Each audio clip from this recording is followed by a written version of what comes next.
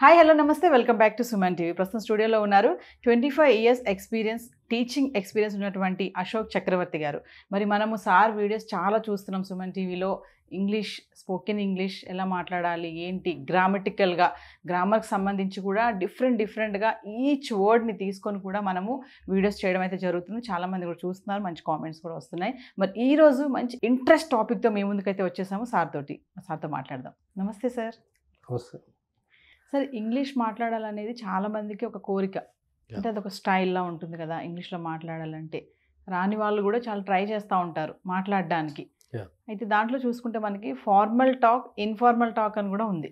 ఫార్మల్గా మాట్లాడడం ఇన్ఫార్మల్గా మాట్లాడడం అనేది అసలు ఎలా ఉంటుంది సార్ అది? డెఫినెట్గా మీరు ఇప్పుడు ఫార్మల్గా ఉంటుంది ఇన్ఫార్మల్గా ఉంటుంది అని అన్నారు కానీ ఇది చాలామంది ఫ్యాకల్టీస్కి తెలుసు. యాక్చువల్గా ఏంటంటే లెర్నర్స్కి తెలియకపోవచ్చు.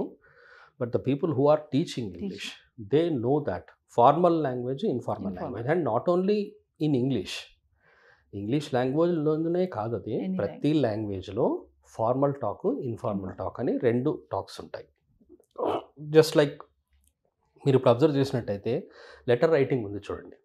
లెటర్ రైటింగ్లో కూడా మీరు అటెండ్ అయినప్పుడు స్కూల్స్లో కాలేజెస్లో మీరు చెప్తారు ఏంటంటే ఫార్మల్ లెటరు ఇన్ఫార్మల్ లెటరు అంటారు.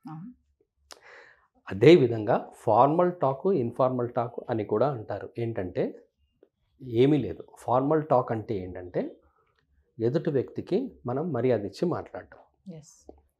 ఇన్ఫార్మల్ టాక్ అంటే ఏంటంటే ఇక్కడ కేర్ఫుల్గా వినండి. ఇన్ఫార్మల్ టాక్ అంటే మర్యాద ఇవ్వకుండా మాట్లాడడం కాదు అది. ఇన్ఫార్మల్ టాక్ అంటే జనరల్ టాక్ అని అర్థం. జనరల్. క్యాజువల్గా క్యాజువల్గా మాట్లాడడం ఎస్ ఫర్ ఎగ్జాంపుల్ ఒక మీరు ఒక కాలేజ్కి వెళ్ళారు అక్కడ ప్రిన్సిపల్ ఉన్నారనుకోండి ఆ ప్రిన్సిపల్తో మీరు మాట్లాడాలి. ప్రిన్సిపల్తో మీరు మాట్లాడినప్పుడు మీరు డైరెక్ట్గా ఏ ప్రిన్సిపల్ ఇట్రా అని చెప్పి అనరు. అలా ఎవ్వరూ అనరు. అన్నారు ఒక టీచర్తో మాట్లాడాలి. ఆ టీచర్ పేరు ఏదో ఉందనుకుందాం. టీచర్ ఇట్రా ఒకసారి ఇక్కడ నీకు ఒకటి చెప్తుందా అని ఎవ్వరు అనరు. ఇది యాక్చువల్ ఏంటంటే రాంగ్ టాక్ ఇది. నాతో ఫార్మల్ టాక్ అండ్ నాతో ఇన్ఫార్మల్ టాక్. ఇది ఇన్ఫార్మల్ కాదు ఫార్మల్ కాదు. ఇది ఇది ఒక రాంగ్ టాక్ అనమాట మనము ఎదుటి వ్యక్తితో మనకు తెలియకుండానే ఎక్స్క్యూజ్ మీ సార్ అంటాం చూడండి. Excuse me sir sir can I have the details of this college అన్నారు. Can I have the details of this college ఎంత మర్యాదగా మీరు అడిగారు చూడండి. అది అక్కడ అడగడం ఏంటి అంటే సార్ కొంచెం ఏమనుకోకండి అని అర్థం అక్కడ. ఎక్స్క్యూజ్ మీ సార్ అంటేనే అది అర్థం. సార్ కొంచెం ఏమనుకోకండి ఏమనుకోకండి మిమ్మల్ని డిస్టర్బ్ చేస్తున్నందుకు అని అర్థం అక్కడ. ఎవరో అక్కడ రోడ్డు మీద వెళ్తున్నారు. మనం ఎక్స్క్యూజ్ మీ సార్ అన్నాం అనుకోండి. అక్కడ అర్థం ఏంటి? సార్ కొంచెం ఏమనుకోకండి ఏమనుకో- మిమ్మల్ని నేను డిస్టర్బ్ చేస్తున్నాను అని అర్థం. So excuse me sir can I have the details of this college and ఈ కాలేజ్ డీటెయిల్స్ చెప్పొచ్చా సార్ కొంచెం తెలుసుకోవాలనుకుంటున్నాను అన్నారు. ఈ ఈ క్వశ్చన్ మీరు ఎవరైనా అడగవచ్చు ఎంత పెద్దవాళ్ళనైనా అడగవచ్చు ప్రెసిడెంట్ ఆఫ్ ఇండియా అని కూడా అడగవచ్చు అదే విధంగా మీరు మీ తెలిసిన వాళ్ళని ఎవరినో ఎవరితోనో మాట్లాడుతున్నారు. అక్కడ మీరు కాలేజ్కి వెళ్ళారు కాలేజ్కి వెళ్ళారు. కానీ మీరు తెలిసిన వాళ్ళు అక్కడే నిలబడి ఉన్నారు. మీ ఫ్రెండ్ అవ్వచ్చు. మీ కలీగ్ అవ్వచ్చు. మీ కజిన్ అవ్వచ్చు. మీ రిలేటివ్స్లో ఎవరైనా అవ్వచ్చు. ఎస్ ఆ వ్యక్తిని చూడంగానే సడన్గా చూస్తారు. ఏ హాయ్ ఏమైంది ఇక్కడ? నువ్వు ఈ కాలేజ్కి వచ్చావేంటి? అన్నారు అనుకోండి.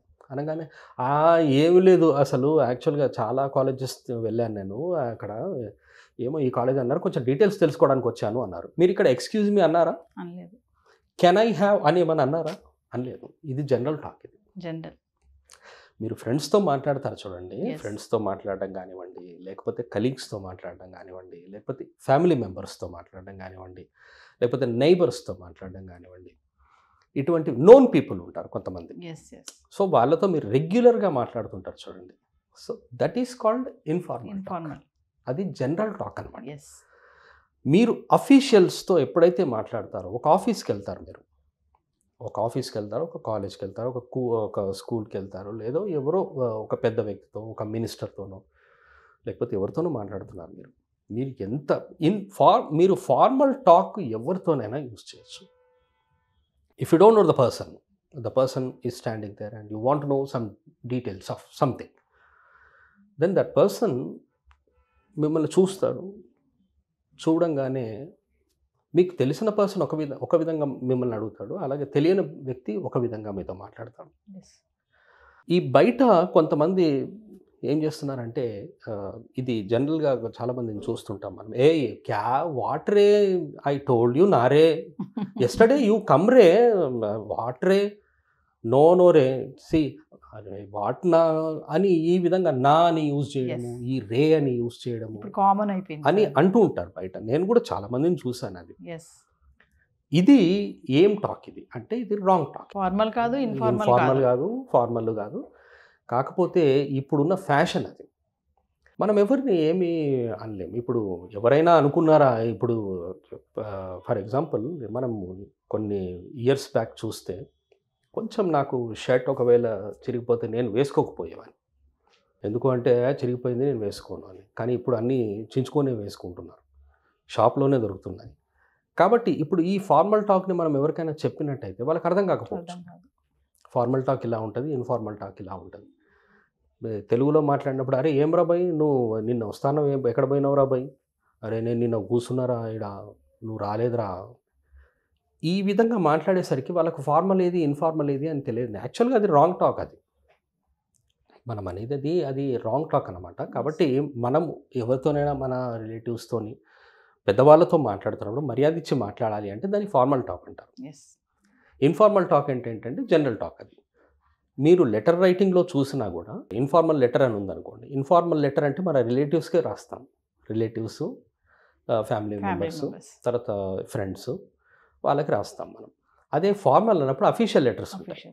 మీరు లీవ్ లెటర్ రాయాలి. అది అఫీషియల్ లెటర్. బాస్ కో టీచర్ ఒక జాబ్ అప్లై చేయాలి మీరు. అది మీకు ఫార్మల్ లెటర్ రాయాలే కానీ ఇన్ఫార్మల్ రాయరు కదా. ఇక్కడ మీరు రాసినప్పుడు యువర్స్ అఫెక్షనేట్లీ అని యువర్స్ లవింగ్లీ అని మీ బాస్కి రాస్తారు. లేదా ప్రిన్సిపాల్కి రాసి యువర్స్ లవింగ్లీ యువర్ స్టూడెంట్ అని ఈ విధంగా రాశారనుకోండి. ఈ విధంగా రాయడం అది అది కొంచెం ఇన్ఫార్మల్గా ఉంటుంది. కాబట్టి మనం యువర్స్ లవింగ్లీ అని ఎవరితో రాస్తాం? మన వాళ్ళతో రాస్తాం. ఇప్పుడు ఇన్ఫార్మల్ లెటర్స్ అనేవి లేవు. ఇప్పుడు ఇన్ఫార్మల్ లెటర్స్ అనేవి లేవు. ఎందుకంటే అన్ని మొబైల్లో చూసుకుంటున్నారు. మొబైల్లోనే చేస్తున్నారు కాబట్టి ఇన్ఫార్మల్ లెటర్స్ అయితే లేవు. ఫార్మల్ లెటర్స్ అంటే మీరు అప్లికేషన్స్ అవి ఇవి రాయాలి అవి కూడా మెయిల్స్ పంపిస్తారు అనమాట మెయిల్స్ పంపిస్తారు కాబట్టి అవి ఫార్మల్ ఫార్మల్ లెటర్స్ ఉన్నాయి. అలాగే ఎలాగైతే ఫార్మల్ లెటర్స్ ఉన్నాయో మీరు లాంగ్వేజ్ నేర్చుకునేటప్పుడు when you are when you want to develop your speaking skills formal టాక్కి informal టాక్కి డిఫరెన్స్ తెలుసుకోవాలి. ఈ ఫార్మల్ టాక్ ఇన్ఫార్మల్ టాక్ అంటే ఏంటి అన్నది కూడా మనము మనం ఎప్పుడైతే సెషన్ స్టార్ట్ చేస్తామో అందులో మనం చెప్పొచ్చు. ఎస్ ఇది ఫార్మల్ ఒకే క్వశ్చన్ ఉంది. Yes okay question what is your name what is your name అన్నాం. ఇది యాక్చువల్గా చాలా మందికి తెలియని విషయం ఏంటంటే ఇది ఇన్ఫార్మల్ క్వశ్చన్ ఇది. ఇది జనరల్ క్వశ్చన్ ఇది. Informal question what is your name is అన్నాం. మై డియర్ నవీన మీరే చెప్పండి. మీకంటే పెద్దవాళ్ళు ఉన్నారు. మీ ఎవరో మీ కాలేజ్కి వెళ్ళారు. ఒక కాలేజ్లో ఆ ప్రిన్సిపాల్తో మాట్లాడాలి. మీరు డైరెక్ట్గా వెళ్ళేసి వాట్ ఈస్ యువర్ నేమ్ అని మీరు అన్నారు. అను ఎందుకు అనము అంటే అది ఇన్ఫార్మల్ క్వశ్చన్ ఎస్ కానీ క్వశ్చన్ ఫార్మల్ మరి సార్ మరి నాకు నేమ్ తెలియాలి కదా. క్వశ్చన్ ఎలా నేను అడగడం? అంటే సేమ్ క్వశ్చన్ని మీరు అడగొచ్చు. ఎలాగో తెలుసా? మే ఐ నో అనేది యాడ్ చేయాలి. కానీ may I know what is your name కాదు అది may I know what your name is అనాలి. Sir excuse me may I know what your name is అనొచ్చు. ఇది ఫార్మల్ ఫార్మల్ క్వశ్చన్ అదే same కాకపోతే ఫార్మల్ క్వశ్చన్ ఇన్ఫార్మల్ క్వశ్చన్ ఉంది. ఫార్మల్గా అడిగితే మర్యాదగా ఉంటుంది. ఇన్ఫార్మల్గా అంటే జనరల్గా ఉంటుంది. వాట్ ఈజ్ యువర్ నేమ్ అనేది ఎప్పుడు కూడా ఇన్ఫార్మల్ క్వశ్చనే informal may I know what your name. Is is లాస్ట్లో వస్తుంది and that is not question question కాదు you can put full stop there అది మర్యాదగా ఉంటుంది అనమాట మరి ఇంకా చూసుకుంటే సార్ యో గుడ్ నేమ్ ప్లీజ్ అంటారు. దాన్ని ఎలా దాన్ని? చాలా మందికి తెలియక అడుగుతారు నవీన అది. యువర్ గుడ్ నేమ్ ప్లీజ్ అనేది లేదు అసలు యాక్చువల్గా Hmm. Your good name please అనేది లేదు. ఎవరైనా మీకు చెప్తే కూడా అది కరెక్ట్ కాదు. సి యువర్ గుడ్ నేమ్ అంటున్నారు మీరు. నేను ఒక క్లాస్లోకి వెళ్ళాను. వెళ్ళి అక్కడ కూర్చుంటాను. ఏదో రాస్తుంటాను బోర్డు మీద hey why are you shooting what's name అన్నాను. ఓకే అది ఏదో మాట్లాడుతున్నాడు ఏదో పేరు చెప్తాడు. ఇంకోటి యువర్ నేమ్ అన్నాను. స్టాండప్ నేమ్ అన్నాను. మరి నేను అడిగింది నేమే కదా. అది కరెక్ట్ కాదు. అది ఎక్స్ప్రెషన్స్ అవన్నీ. అవన్నీ ఎక్స్ప్రెషన్స్. ఫుల్ క్వశ్చన్ అడగాలి అంటే may I know your name please అనాలి. May I know your name please కానీ ఇప్పుడు అంత అడిగే టైం లేదు కదా. లేదు. అందుకని your good name please short cut short success sessions గురించి. ఓకే సో ఇలాగే మన సుమన్ టీవీ వాళ్ళ కోఆపరేషన్తో కొంచెం సెషన్స్ స్టార్ట్ చేస్తున్నాము. స్పోకెన్ ఇంగ్లీష్ సిరీస్ అంటాము. స్పీక్ ఇంగ్లీష్ సిరీస్ అనొచ్చు. ఇంగ్లీష్ డెవలప్ చేసుకోవాలని ఎవరైతే చూస్తున్నారో వాళ్ళ కోసమే టూ అవర్స్ సెషన్ ఉంటుంది డైలీ టూ అవర్ సెషన్ అలాగే ట్వంటీ ఫైవ్ డేస్ క్లాసెస్ ఉంటాయి.